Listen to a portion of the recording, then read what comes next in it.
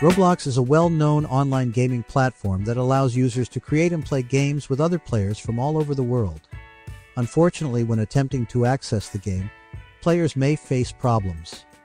One such problem is the Roblox error code 400, which occurs when the user's computer is unable to connect to the Roblox game server. These are the solutions that you can try.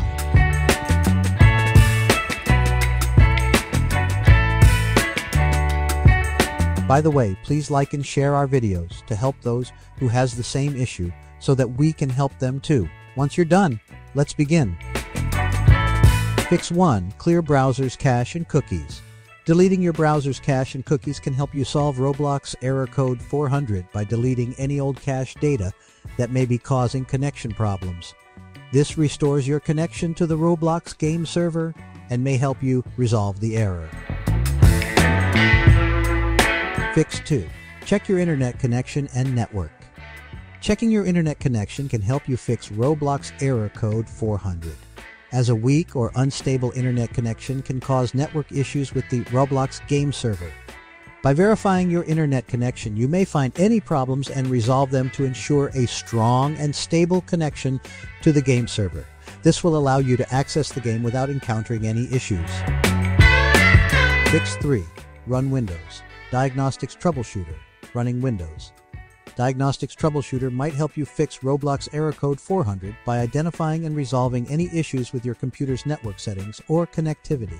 The troubleshooter can identify and resolve issues with network adapter settings, DNS server settings, and other network-related issues that may be generating the error. Fix 4. Allow Roblox on Windows Defender Firewall the firewall or antivirus settings may be preventing the connection between your computer and the Roblox game server, which might lead to error code 400. By inspecting your firewall and antivirus settings, you may discover if they are causing the problem and tweak them so that Roblox can connect to the internet. This can help with resolving the error and allowing access to the game. Fix 5. Change your DNS. Changing your DNS domain name system can help you fix Roblox error code 400 by making your internet connection more stable and faster. DNS is in charge of turning domain names into IP addresses and connecting your computer to the internet. You can use a more reliable and faster DNS server by changing the DNS settings on your computer or router.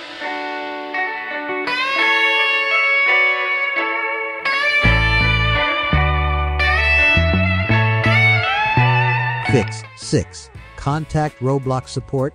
Roblox error code 400 can be resolved by contacting customer service since they can provide more thorough troubleshooting instructions and assist you in determining the source of the problem. Also, they can identify any known difficulties with the Roblox servers or your account and assist you in resolving them as quickly as possible. That's it. If you think that this video is helpful, we would appreciate it.